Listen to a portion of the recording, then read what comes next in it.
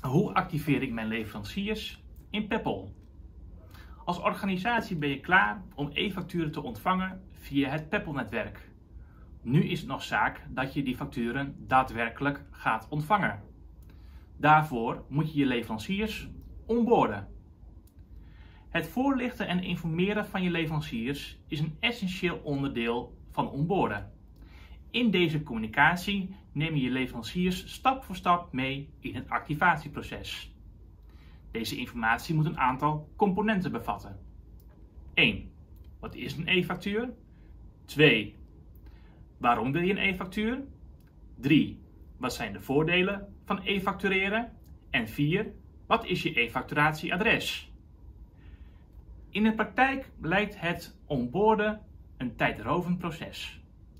E-verbinding heeft daarom een unieke aanpak ontwikkeld die dit activatieproces soepel laat verlopen. WeConnect. Met WeConnect wordt in korte tijd een groot deel van je leveranciers geonboord voor e-facturatie. Van kleine bakker op de hoek tot grote corporate organisatie.